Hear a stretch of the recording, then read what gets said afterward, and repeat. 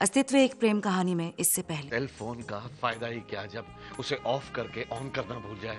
ये एल्बम लेकर कहाँ जा रही है बेटा? बस पापा रह गए। उन्हें तो जैसे अपनी बेटी से लगाव ही नहीं है. तुम देखना चाहते थे ना कि छोटी गुड़िया बड़ी कैसी है? आप उससे मिलकर ही उसे जानेंगे। कैसे मिले? आई हैव एन आइडिया देखिए पापा मैं इनसे आज मिली।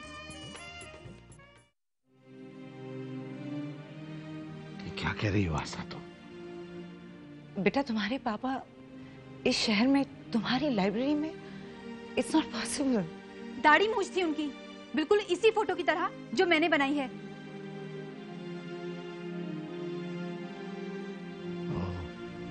मुंबई में हो सकता है क्या?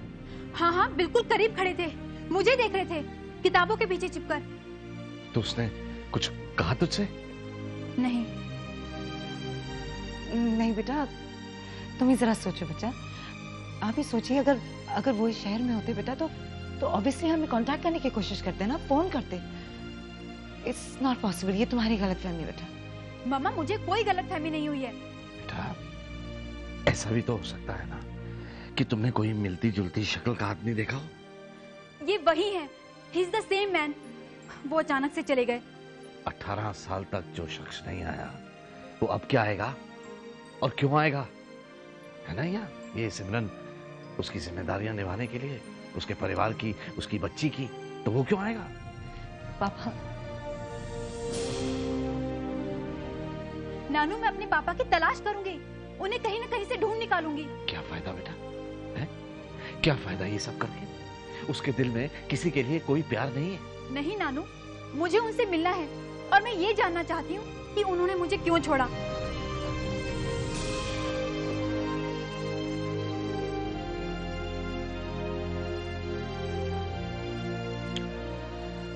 आदमी ने सबको बस सिर्फ़ दुख दिया है माँ बाप बीवी, बच्ची, किस मुँह से लौटेगा वो? किस सुनो बेटा, तू भी थक गई होगी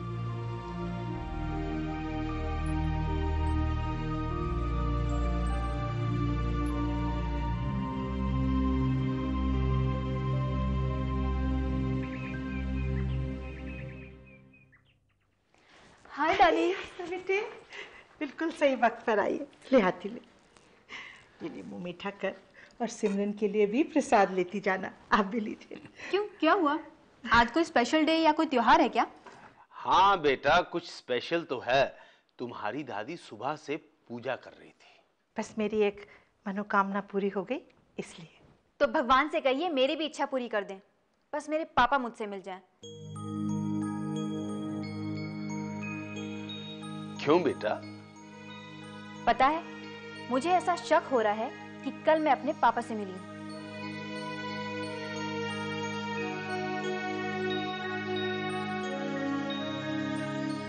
यही है ना मेरे पापा। कल मैंने इन्हें अपने कॉलेज की लाइब्रेरी में देखा। ये मुझे ही देख रहे थे। और मेरी आँखें धोखा नहीं खा सकती।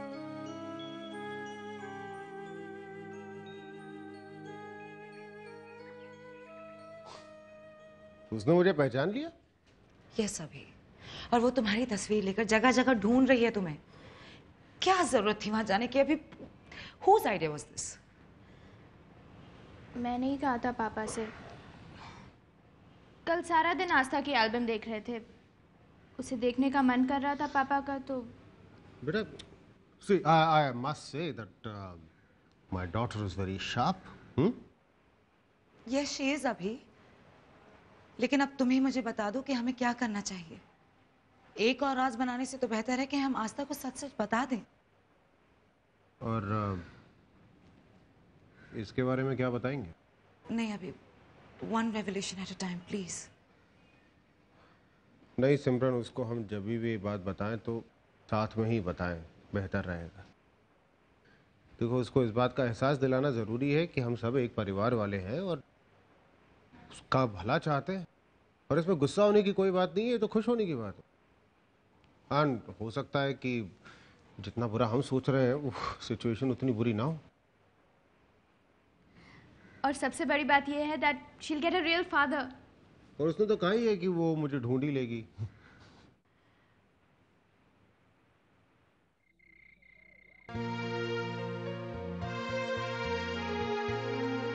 मुझे तुम्हारी मम्मा के बारे में पता चला। आई एम सॉरी समझ सकता हूँ किन हालात से गुजरी हो। मुझे पहले क्यों नहीं बताया? कोई ज़रूरत हो तो प्लीज़ कहना मुझे। तुम कहाँ हो?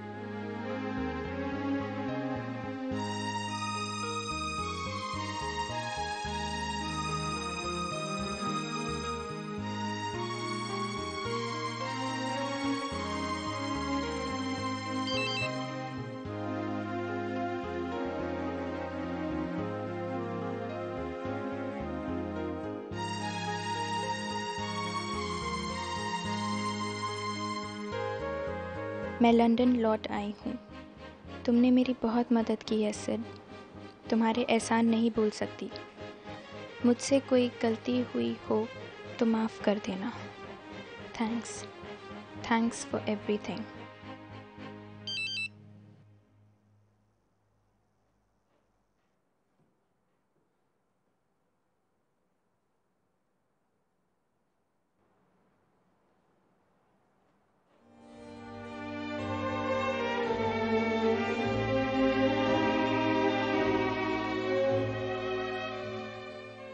पापा कहाँ है? पता नहीं सुबह सुबह कहीं निकल गए अभी तक आए नहीं है वापस। बाहर चले गए? See why is he doing this उन्हें किसी ने देख लिया तो प्रॉब्लम हो सकती है। बेटा आस्था अगर फिर से देख लेगी तो क्या कहेगी? या मम्मा even even I am worried I am worried नहीं बच्चा प्लीज़ फ़ोन करो उन्हें पूछो कहाँ है। मम्मा पापा अपना मोबाइल यहीं छोड़ के गए हैं। ओह my God why is he doing this हमने आस्था से कुछ नहीं कहा अब तक। मुश्किल से टाल रही हूँ मैं उसे। अगर दोबारा देख लिया अभी को तो प्रॉब्लम हो जाएगी। इतनी कंप्लेंट मत करो टेंशन मुझे भी है, समझी?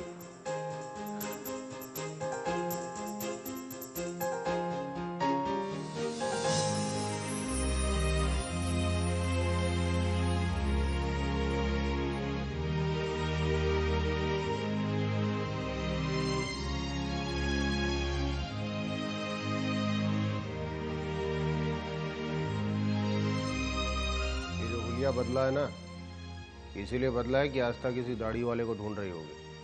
कम से कम इसकी वजह से थोड़ा पहचानने में प्रॉब्लम तो होगी उसे हाँ? हाँ पापा लेकिन आपने पूरी दाढ़ी क्यों नहीं शेप की?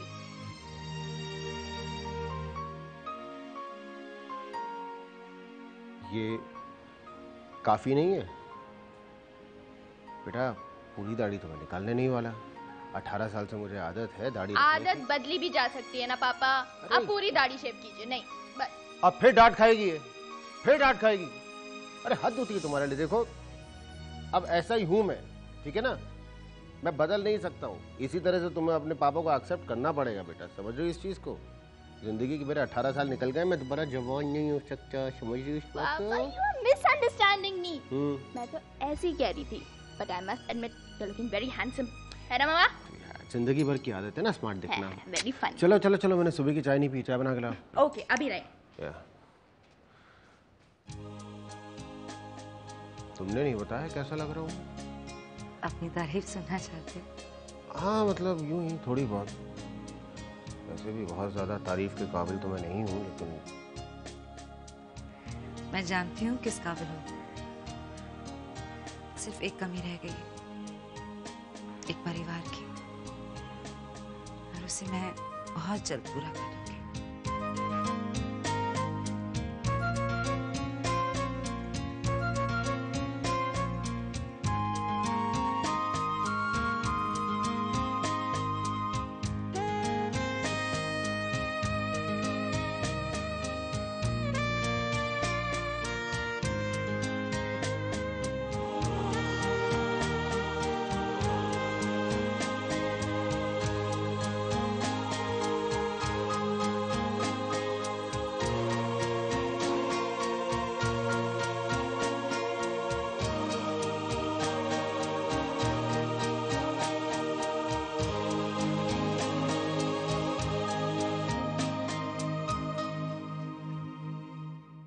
अस्तु आई एम रियली इम्प्रेस बेटा। बहुत पढ़ाई हो रही है आजकल। लाइब्रेरी में घर में भी देर तक। हम्म I think you deserve a break what do you think क्यों? क्यों? शॉपिंग करेंगे? मूवीज़ देखेंगे? कुछ अलग खाएँगे? मम्मा कहाँ टाइम है ये सब करने के लिए? एक दिन में नहीं है। अगर एक दिन में वो मुंबई छोड़कर चले गए तो? हम कैसे ढूंढेंगे उन्हें? आप तो उनके बारे में कुछ सोचती नहीं हैं। और ना ही सोचना चाहती हैं। बेटा मेरे चाहने ना चाहने से कुछ नहीं होगा। अगर उन्हें आना होता तो वो घर नहीं आते। पापा नहीं आएँगे। हमें उन्हें ज़बरदस्ती लाना होगा। ज़बरदस्ती? जो नहीं आना चाहते उन्हें मैं फोर्स नहीं करूँगी बेटा। तो क्या हम उनसे मिलेंगे नहीं? बेटा just give it some time let's wait and see be patient अगर उन्हें आना होगा वो आ जाएँगे बेटा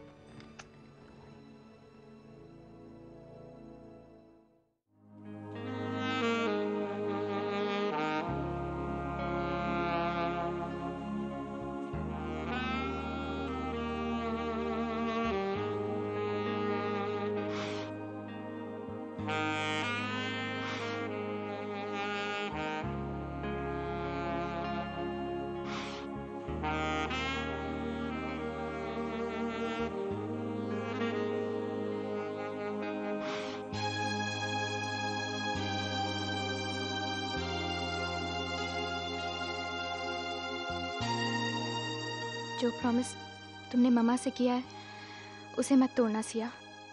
किसी भी हाल में नहीं।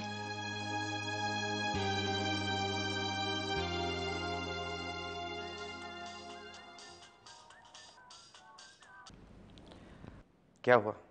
अब तक जाग रही हो? सिड मुझे तुमसे एक बहुत इंपॉर्टेंट बात करनी है। आज मैंने अपने पापा को देखा। क्या? हाँ सेठ मैंने उन्हें अपनी कॉलेज की लाइब्रेरी में देखा। मैं तो उन्हें पहचान नहीं सकी। हालाँकि वो मुझे देखे जा रहे थे।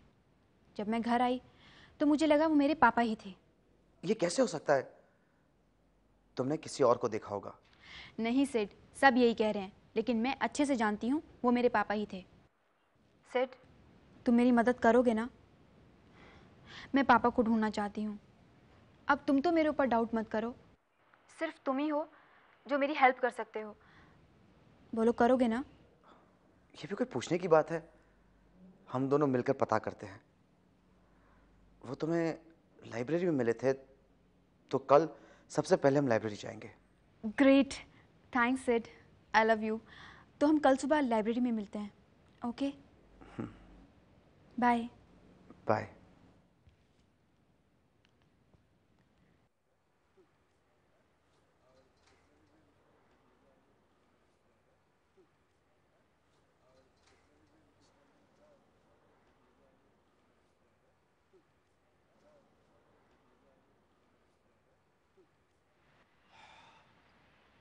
नाश्ता एक्सक्यूज मी मैम यस जितने भी लोग लाइब्रेरी में आते हैं आप उनकी एंट्री करते हैं। यस कल यहाँ पर कोई आए थे जिनके बारे में आस्था कुछ जानना चाहती है। Please ma'am it's very important एक रिक्वेस्ट है। हम कल की एंट्री चेक कर सकते हैं? देख लीजिए। Thank you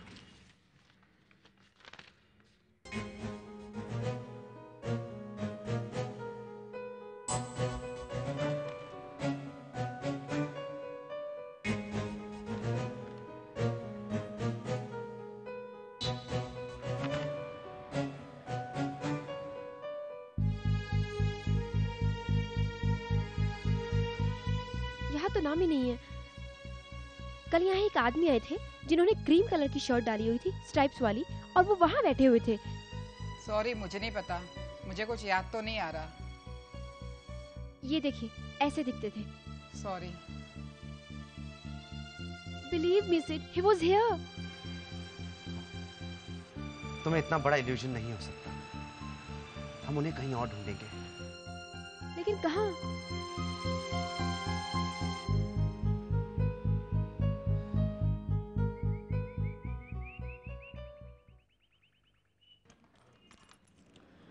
oh thank God अभी तुम यहाँ हो मैं घबराई गई थी मुझे लगा कहीं बाहर ना निकल गए हो तुम घूमने के लिए। और पता नहीं क्यों दिल ये कह रहा था कि तुम मुझसे मिलने के लिए आओगी? तुम आ गई? आस्था ढूंढ रही है तुम्हें। कहाँ? पता नहीं अभी। सुबह सुबह ही घर से निकल गई। कह रही थी कि मैं पापा को ढूंढ कर ही आऊँगी। मैंने भी कल बात करने की कोशिश की। उसे समझाने की कोशिश की कि अगर पापा को आना ही होता तो क्या वो खुद नहीं मिलने आ जाते?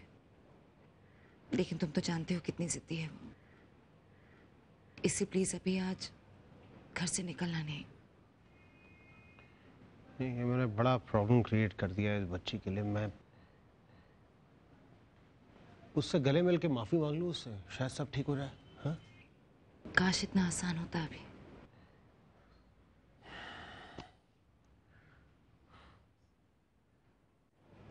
सिया कहाँ है?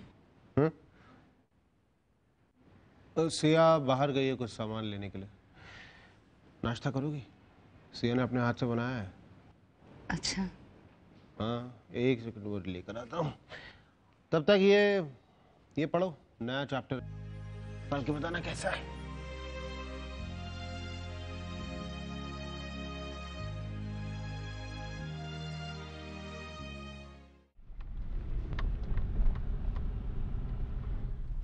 मम्मा तो जैसे चाहती नहीं है कि मैं पापा को ढूंढूं। कैसी बात कर रही हो? वो भला क्यों नहीं चाहेंगी? तुम्हें तो मम्मा के बारे में कुछ भी कहना बेकार है। No, come on, Astha. Don't get emotional again. We have to look at this search practically. तो हम क्या करें? सेठ क्या तुम कल मेरे साथ यहीं आओगे? इसी एरिया में। थोड़ा घूम कर देख लेंगे। हो सकता है पापा दिख जाए। हाँ शुरुआत यहीं से करते हैं। उसके बाद और भी जगहों पर।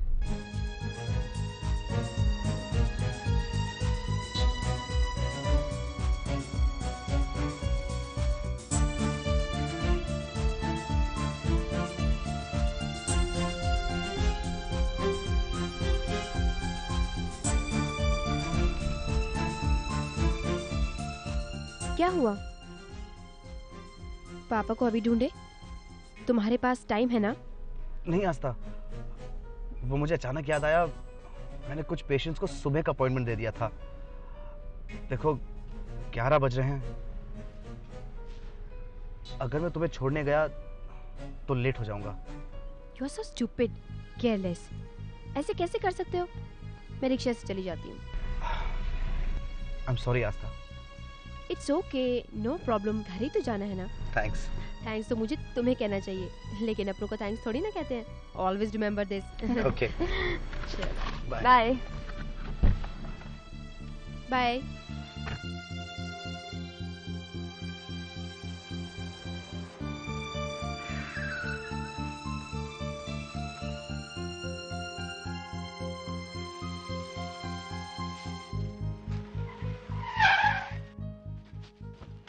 Siya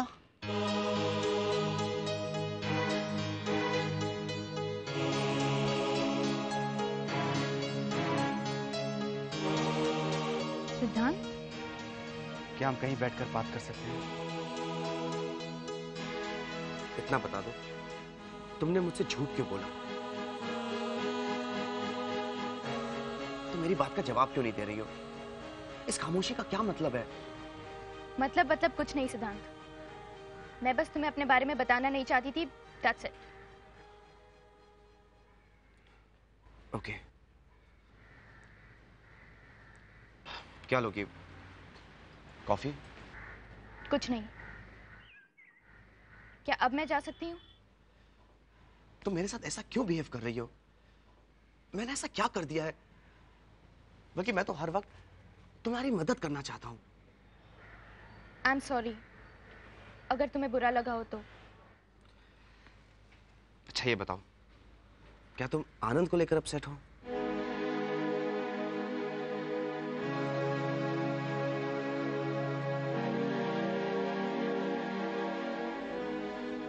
वो अब तक तुम्हारे प्यार को नहीं समझ सके। जस्ट शराब सिद्धांत। ये तुम क्या कह रहे हो? What's wrong with you, Siya? मैं तो आनंद के बारे में पूछ रहा हूँ। जिनसे तुम प्यार करती हो। जब तुम कुछ नहीं जानते तो फिर पूछते क्यों you know who is Anand he is my father.